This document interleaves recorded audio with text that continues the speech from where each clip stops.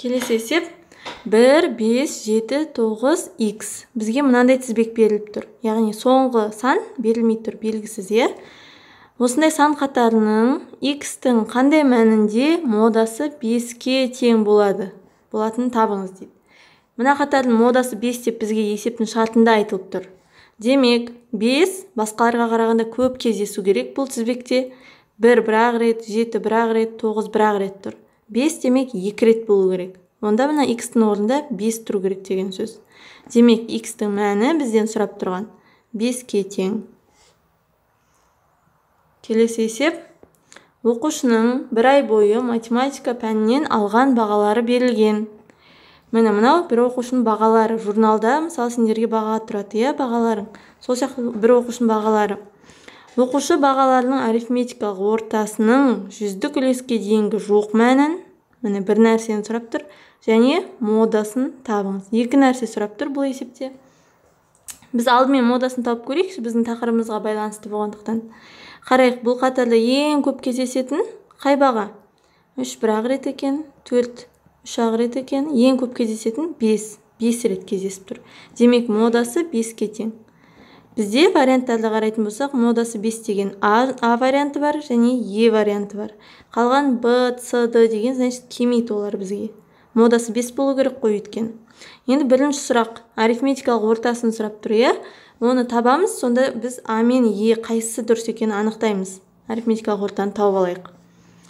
Арифметикалық ортаға менде бөлек видеолар бар. Оны кейін жіберемін сол тақырыпқа келген кезде толығырақ. Ал қазір қысқаша айтатын болсам арифметикалық ортаны табу үшін мына бағалардың барлығын қосамын да сосын олардың санына бөлемін мысалы қарайық.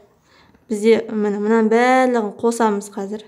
Бес қосу төрт қосу бес қосу бес қосу үш төрт бес қосу бес қосу төрт. Осының барлығын қосып олардың санына бөлем. қанша сан тұр мына жерде?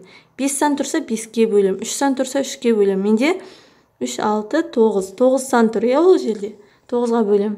мынаны қосатын болсақ қырық шығады оны тоғызға бөлеміз. Мен қалай қырық шығардым балалар? Ең оңай тәсілі қосудың. Бірінші ұқсастарды қосып аламыз. Бестерді қосып алайықшы міне. Қараңдар бестен бесеу ғой. Ол жиырма бес болады иә? Оған қосамын төрттен қанша міне міне міне үшеу. Он екі болады иә? Оған қосамын үштен біреу ақ. Сонда үш пен он екіні қоссам он бес болады он беске жиырма бесті қоссам қырық болады. Так енді қырықты тоғызға бөлу үшін сендерге ұбт да калькулятор қолдануға рұқсат береді иә? Қырықты тоғызға калькулятормен бөле салыңдар былай шығады. Төрт бүтін төрт төрт төрт деп кете береді. Енді бізге айтады оны жүздік үлеске дейін жуық мәні керек. Мынаны жуықтау керекпіз. Мынандай ирек тең белгісі жуықтаған кезде қойылады. Жүздік үлеске дейін деген сөз үтірден кейін екі сан тұру керек. Сонда бұл төрт бүтін жүзден қырық төрт болады. Ә, жалпы жуықтау туралы менде бөлек видеом бар. Кім жуықтауды білмейді сол видеоны қарап алса болады. Кейбір жағдайда бұл мына жер 44 емес 45 деп өзгеріп кететін жағдай болады. Сол қандай жағдай екені сол видеода айтылады. Так сонда біздің бірінші арифметикалық ортамыздың мәні төрт бүтін қырық төрт болды. Ондай вариант бізде е міне төрт бүтін қырық төрт. Жаңа модамыз бес шыққан еді. Естеріңде ма? Мына үш нұсқа келмейді деп айттық қой. Модамыз бес болған кезде а мен е деген екі нұсқа қалды. Ал енді арифметикалық ортамыз төрт бүтін жүзден қырық төрт болған кезде тек қана е нұсқасы қалды бізде. А нұсқасы қате төрт бүтін қырық бес деп тұр ол жерде. Сонда жауабы е.